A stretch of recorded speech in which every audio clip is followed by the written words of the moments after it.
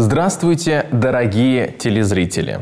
Сегодня среда, и церковь в этот день предлагает нам к нашему назиданию и для нашего внимательного рассмотрения отрывок из послания святого апостола Павла Галатам, глава 6, стихи со 2 по 10. И вот как звучит данный отрывок в русском синодальном переводе. «Носите бремена друг друга». И таким образом исполните закон Христов. Ибо кто почитает себя чем-нибудь, будучи ничто, тот обольщает сам себя. Каждый да испытывает свое дело, и тогда будет иметь похвалу только в себе, а не в другом, ибо каждый понесет свое бремя. Наставляемый словом, делись всяким добром с наставляющим. Не обманывайтесь, Бог поругаем не бывает – что посеет человек, то и пожнет.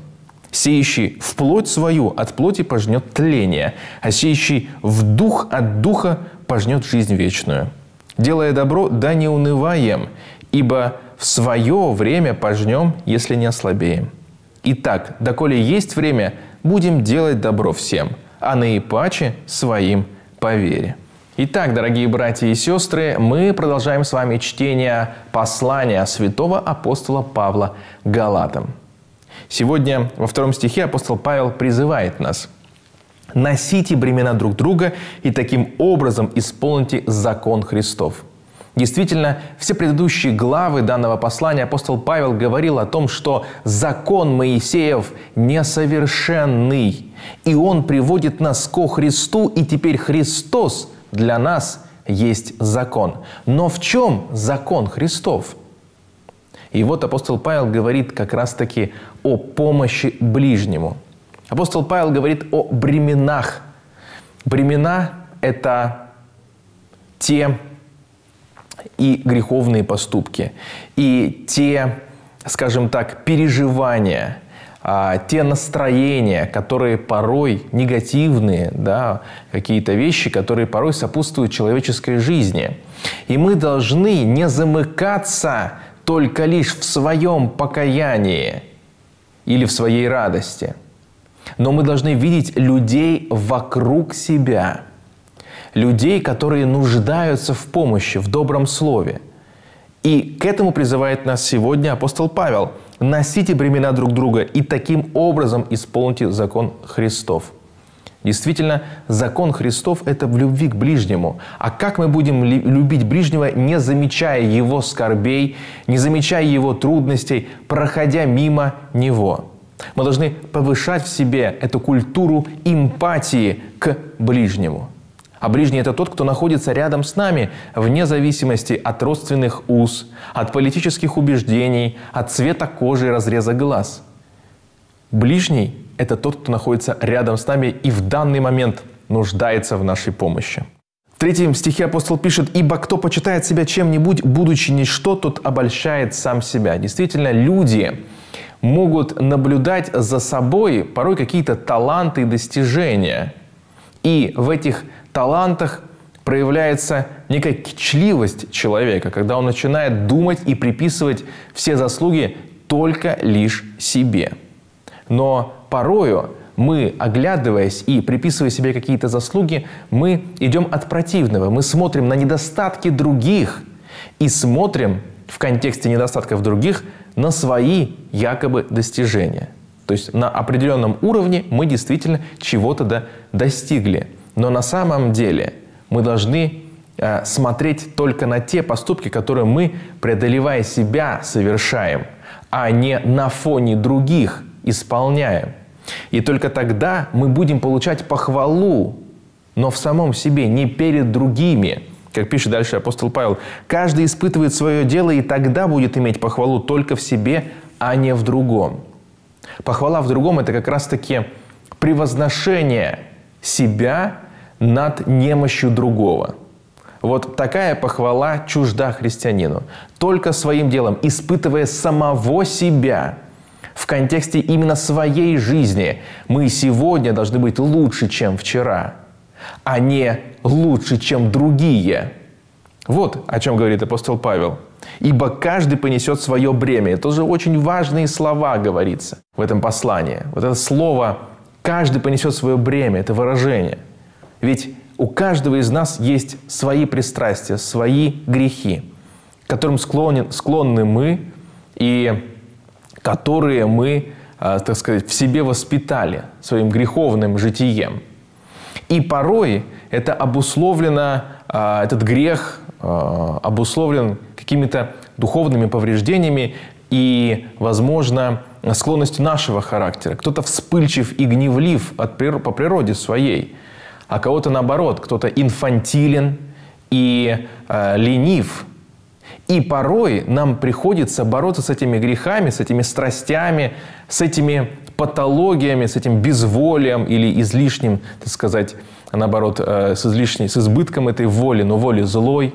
Нам приходится бороться всю жизнь. Это особенности нашего, э, нашей души, нашей личности. И мы должны корректировать, и придется это корректировать порой всю жизнь, и нести бремя самого себя. Признать то, что у нас есть какие-то склонности, и они бывают э, греховны, очень важно. И понять, что от себя не уйдешь, но можно преобразить себя благодатью Божией. Ибо каждый понесет свое бремя. В то же время мы должны видеть бремя другого человека. Но, как говорится, здесь нужно, как сказано, носите бремена друг друга и таким образом исполните закон Христов. А пред этим сказано, если вы, духовные, увидите какое-то прегрешение брата ваше, исправляйте его в духе кротости.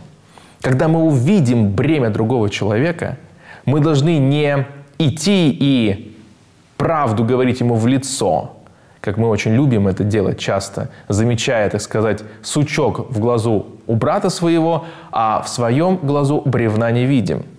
Соответственно, мы должны с духом кротости, а для этого нужно и смирение, а для этого нужно понимание, испытание своих дел, как говорит апостол Павел. Каждый мы несем свое бремя. Об этом тоже важно помнить. И когда мы пытаемся осудить кого-то за его грех – за его проступок нужно понимать, что он сам несет бремя самого себя, бремя своего нелегкого, порой тяжелого характера. И мы не знаем, какую титаническую работу он преодолевает, какую он совершает в преодолении каких-то своих пагубных страстей. Если мы видим это преодоление, если мы видим это некое изменение, то мы должны радоваться, то мы должны со смирением принимать такого человека, ведь и нас с вами принимают со смирением. Далее он говорит, наставляемый словом делись всяким добрым, добром с наставляющим. Здесь говорится о традиции, от того, что священник и проповедник питается от алтаря, он живет за счет общины. Но и а, вот с этой традицией пытались спорить противники апостола Павла, насмехаясь над этой традицией. Но дальнейший текст говорит нам о таких насмехающихся над таким положением вещей – над тем, что люди жертвуют церкви, жертвуют священникам и строят храмы. Что говорит апостол Павел? Не обманывайтесь, Бог поругаем не бывает. И здесь речь идет как раз-таки о том, что вот такое положение – это не выдумка апостолов. Это идет еще с Ветхого Завета. Не заграждай рта у вала молотящего. Это идет из уст самого Спасителя. О том, что апостолы, проповедники живут за счет тех, кому проповедуют.